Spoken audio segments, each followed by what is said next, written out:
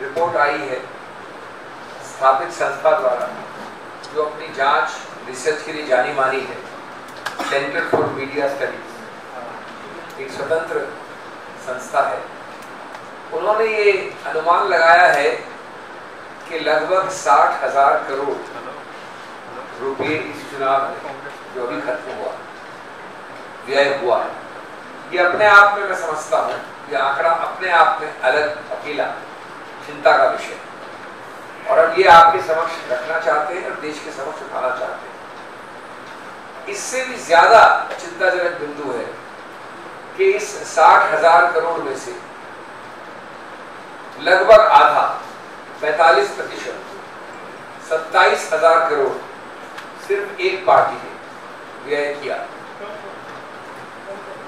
एक पार्टी, सत्तारूढ़ पार्टी ने 45 प्रतिशत इसका, यानी लगभग सत्ताईस हज़ार करोड़ व्यय किया। तीसरा बिंदु कि बाकी सब पार्टियाँ कोई निकट दूसरे स्थान पे नहीं थी, दूर थी, बहुत दूर थी।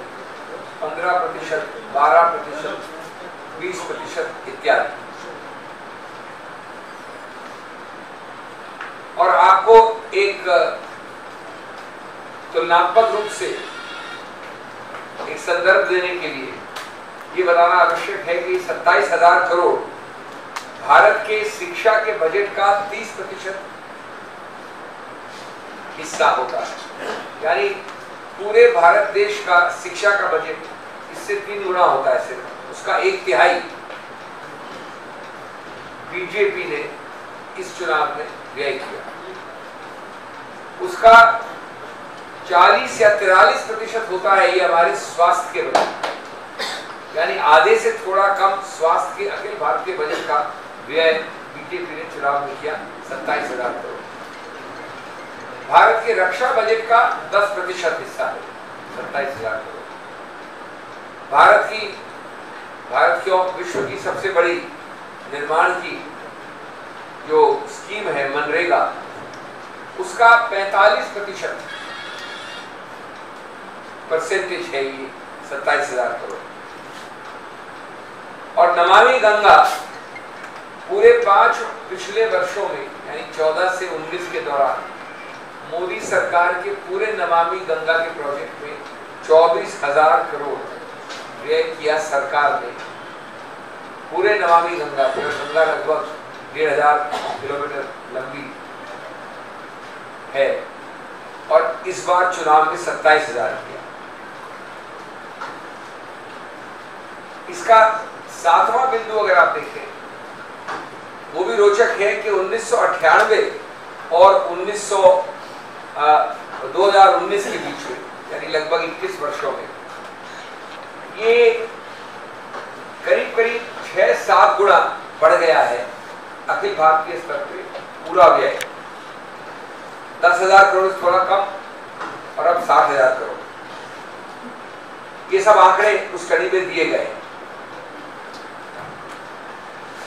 ये मुद्दा सिर्फ़ आंकड़ों का नहीं ये मुद्दा एक समतल ज़मीन का और आप समतल ज़मीन का मतलब समझते हैं सिर्फ़ लेवल प्लेइंग फ़ील्ड से नहीं। समतल ज़मीन का मतलब होता है कि without a level playing field you can not have independent objective non partisan election and if you can not have fair level playing field elections then you can not And if you can't have democracy, you cannot have basic structure of the Indian Constitution. क्योंकि ये भारत के संविधान के मूल ढांचे का एक अभिन्न अंग है। और कहीं ना कहीं ये इस समतल ज़मीन लेवल प्लेइंग फ़ील्ड को विकृत करता है। अगर आप वोटर के हिसाब से यानी कितने वोटर होते हैं एक संसदीय कॉन्स्टिट्यूंसी में उसका एक नया आयाम लें। तो एक बड़ा चौंकाने वाला फिगर आता है कि साठ हज़ार करोड़ के आंकड़े को अगर आप वोटर जितने हैं भारत में सामूहिक रूप से, उतने लाखों करोड़ों को से डिवाइड करें गणित में तो 100 करोड़ प्रति पार्लियामेंट्री कॉन्स्टिट्यूएंसी संसदीय क्षेत्र का चौंकाने वाला आंकड़ा आता है। और 100 करोड़ में से 45 प्रतिशत एक पार्टी ने एक कॉन्स्टिट्यूंसी यानी लगभग 45 करोड़ बीजेपी ने प्रति संसदीय क्षेत्र के विषय में किया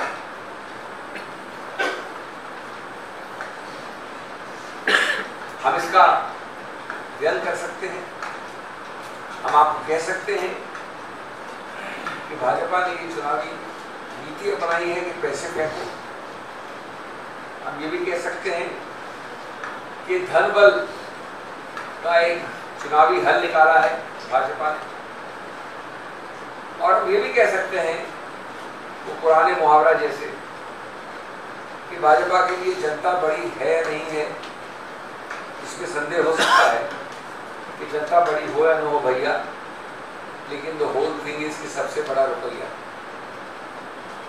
Therefore, the only strategy appears to be money, money and more.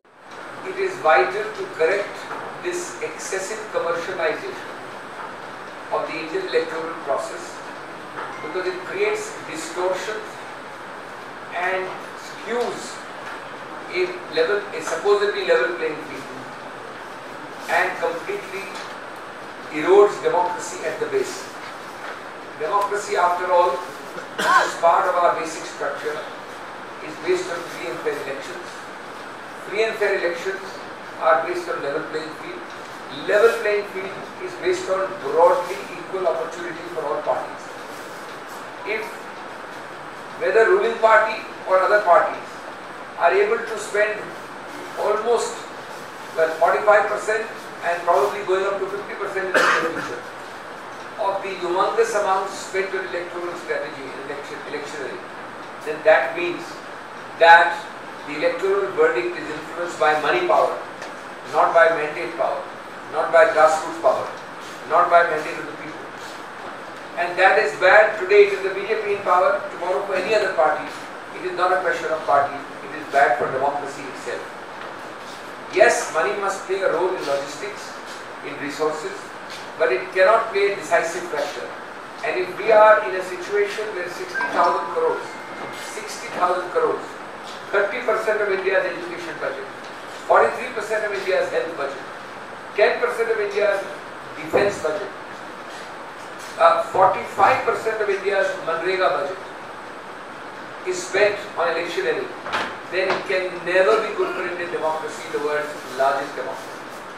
It can indeed never be good for any democracy. And when these figures have humongously increased five to six times for the country as a whole, are we going to increase another five times in the next election in 2024? We are now reached 60,000 crores. And are we going to have a hiatus? And what is going to happen to the level playing field if we have a hiatus between the ruling party spending 45% of that 60,000 crores versus the second party spending roughly between 15 and 20 percent at the most, and others spending 10, 11, 7, 8 percent. I will end also by reminding you that various wrong schemes, illegal schemes, motivated schemes, which we have not hesitated to criticize before you when they were brought. I am not saying it now. We criticize it from this podium in front of you many times. Have contributed to this completely skewed, imbalanced approach to money, power, and elections. One of them is electoral bonds. They have certainly played a negative and an important role in this distortion. We have given you the details and condemned the opaque electoral bond system. We would therefore conclude by demanding, firstly, a explanation from the BJP as to the sources of this humongous amount of 45,000 crores. I'm sorry, 27,000 crores, 45 percent. हम पहली मांग ये करेंगे कि इतना बड़ा पैमाने पे 45 प्रतिशत का जो व्यय हुआ है उसके सोर्सेज बताएँ नंबर दो याद दिलाएँगे माननीय प्रधानमंत्री को कि नोटबंदी के बाद जो वायदा था तो ये प्रत्यक्ष आपको देश के सामने बताना चाहिए कि ये सब स्रोत हम तो सिर्फ़ रिपोर्ट की बात कर रहे हैं हमारी आरोप नहीं है। ये जाँच ने बताया है, ये रिसर्च ने बताया है। तो कृपया देश से शेयर करें कि इसमें से कितना नंबर वन है, कितना नंबर टू है, और वो सोर्स से मालूम पड़ जाएगा। तीसरा, क्या बहुत अधिक मात्रा में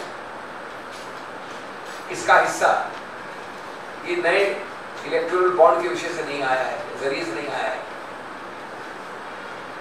और भविष्य में इतना ज़्यादा औद्योगिकरण commercialisation industrialisation of election monetisation of election किया जाएगा तो उसके विषय में सरकार क्या करना चाहिए सत्तारूढ़ पार्टी क्या करना चाहिए उसे, उसके विषय में भी एक वाइट पेपर पेपर दें वाइट श्वेत पत्र दें, और नहीं तो देश को अवगत कराएँ। You are, itself admitting that you have spent equally so many thousands of crores. You are saying the ruling party has spent 27,000. How much are you saying Congress has spent? Finish your question, I'll answer it. Finish So are you saying that, I mean, you are going to disclose to EC that you spent so much? Sir, first of all, if I rely on a published research report by a non-political independent organization to point out that 60,000 crores spent in the election is an alarming figure, I don't understand the connection of that with sour grapes. Number two, this is a figure arrived at after research. And the second figure, also not arrived at by me, but by that same independent institution which I am merely quoting, is 45% of the entire figure of the entire Indian elections by one party, the ruling party. Now, if you are not alarmed by the meaning of this Indian democracy, then I think you will be a very small minority. Everybody should be alarmed who has the good of the country in their lives. Number three, perhaps you forgot the third point I made, that the distance between the single largest 45% spender and the next is more than 30% or 25%. So you are comparing incomparables. Nobody is suggesting that elections are fought for free. Nobody is suggesting that elections are fought on love, fresh air. But certainly the hiatus, the skewed, the biased flow of money to one political party should be a matter of concern for the future of democracy. And lastly, all that we are asking is a disclosure of the details. Certainly, if the party in power will disclose the details, every other party will be obliged to answer your question. You have to disclose ये details. तो दे ही रहे हैं You have to disclose details. भाई जो detail disclose कर रहे हैं वो सत्ताईस हज़ार करोड़ के नहीं है वो उनके रिटर्न के हैं ये तो मैं रिपोर्ट की बात कर रहा हूँ इस रिपोर्ट के अनुसार साठ हज़ार करोड़ में से सत्ताईस हज़ार करोड़ पार्टी ने किए हैं। जो रिटर्न डिस्क्लोज हुए सत्ताईस हज़ार करोड़ के नहीं है। So you are saying the, the report लेकिन आप ये प्रश्न पहले उनसे पूछे जिन्होंने 45 प्रतिशत एक पार्टी ने किया।